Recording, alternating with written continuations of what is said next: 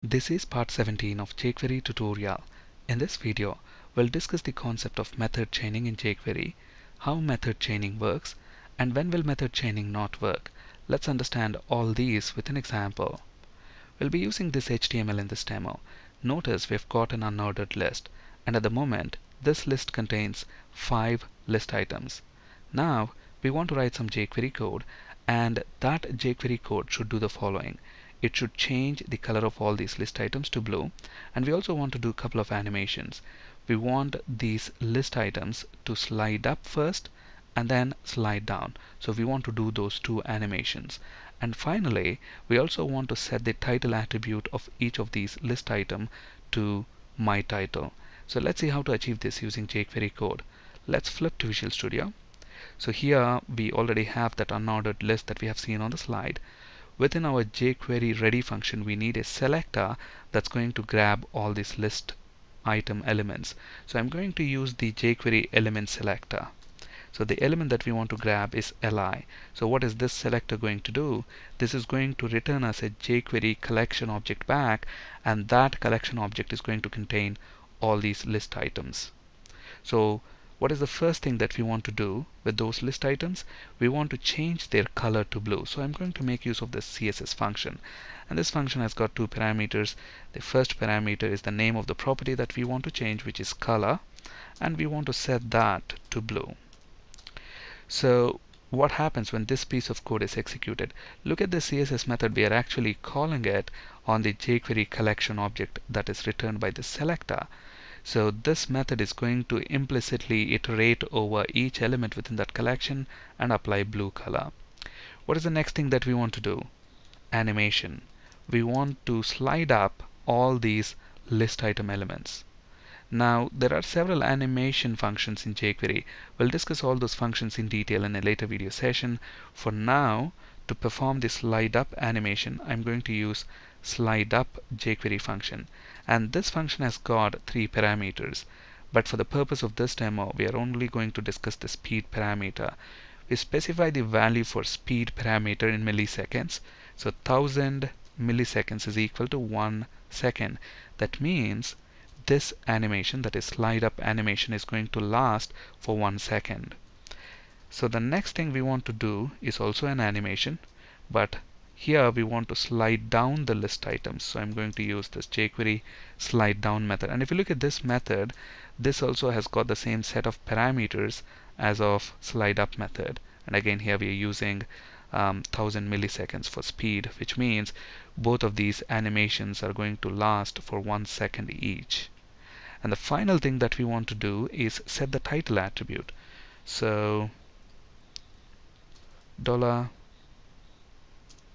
li and to set an attribute we can use attr function. And if you look at this function it has got two parameters the name of the attribute that we want to set and the value. So the name of the attribute is title and the value is going to be my title. Alright so let's save the changes and when we reload this page four things should happen. First the color of these list items should change to blue. Two animations should happen slide up and slide down each one second. And then finally when we hover the mouse over any of the list item the title attribute you know which we have set as my title should show up as tooltip. So let's see if, if that happens look at that we get the blue color slide up slide down and when I hover the mouse over list item look at that we get the title attribute value as a tooltip now, if you look at this code, notice you know how we are calling these functions .css, slide up, slide down, and attr. We are calling all these functions, you know, on the same selector. So don't you think this code is redundant? You know, we have the same selector all over. Now instead of writing this code like this, we can actually chain all these methods together. Meaning, you know, at the end here, so on the collection object that is returned by this selector, we're calling the CSS method. So at the end, I can put a dot and then call slide up method. Similarly, you know, we can then call slide down and finally we can call this attr function. and then an, a semicolon at the end. And we can get rid of all these lines. Look at this. Now we have achieved all this in a single line of code. Now when we save these changes and when we reload the behavior should be the same. So how method chaining works. So what's going on here this selector what is this going to do? It's going to give us a jQuery object which is a collection object and that jQuery collection object contains all these list items. And on that object we are calling the CSS method. What is this method going to do? It's going to implicitly iterate over each element within that collection apply the blue color and then once it has done with its job it's going to return that object back. And whatever object this method is going to return on that object we are calling slide up method in turn. And what is this slide up method going to do? Again it's going to do its job meaning it's going to perform that animation on all those elements within that collection object and then return that collection object. And whatever object this method returns on that we are calling slide down. So this process goes on until we reach this last method in this method chain. So that's how method chaining works. Now, when we have you know method chaining code like this, this line of code can very easily become quite long. And when it becomes too long, the readability of the code will be lost. So if you want to improve the readability of your code, you can actually introduce some white spaces and new line characters. So something like this. So I can actually move the CSS method down and then slide up method to the next line. Similarly slide down and finally attr so this version of the code with those extra white spaces and line breaks you know is much more readable than the previous version where we have all the chained methods in one line. Again you know when we reload it should still work the same way except that we have formatted it for readability.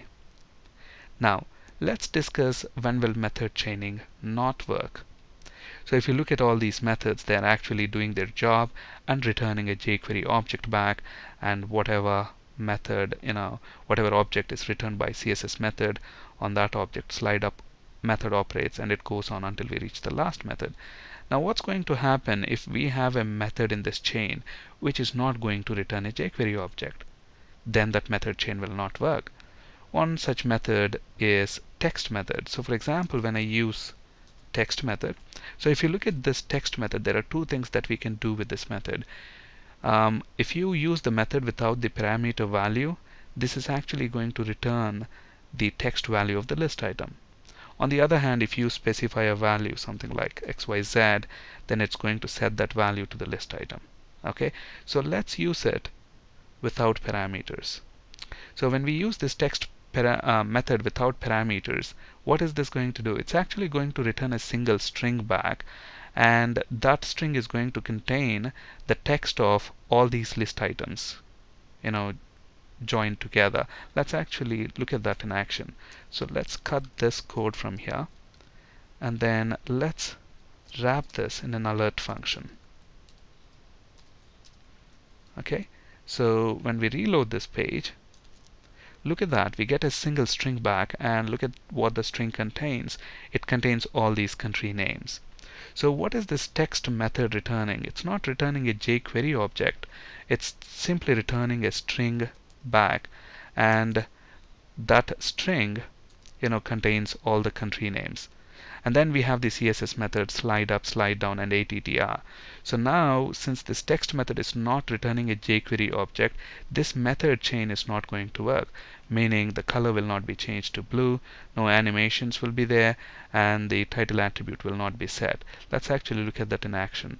So let's save the changes and let's reload this. Look at that nothing happens. When I hover the mouse over any of the list item we don't get the title attribute value as a tooltip and look at that the color is not changed to blue no animations nothing. Why is that? Because this method is not returning a jQuery object back. You know this method chain is not going to work.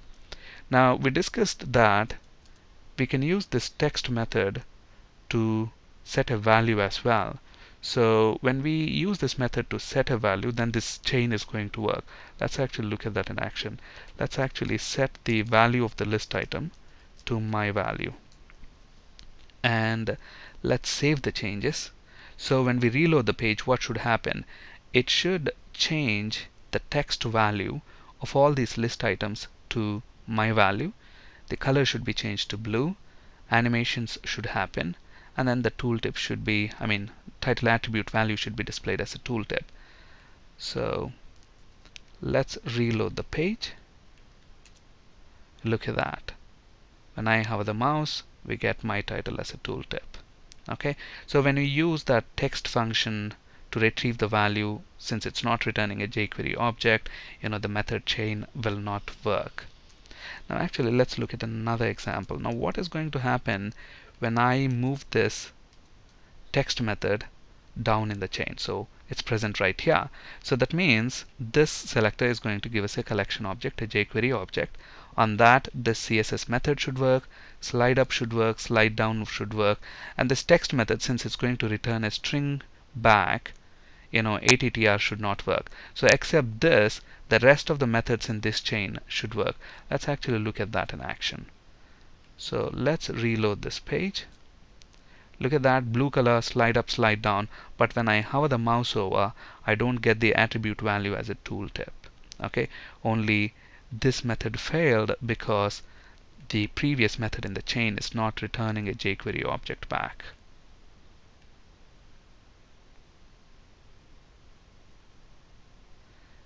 Thank you for listening and have a great day.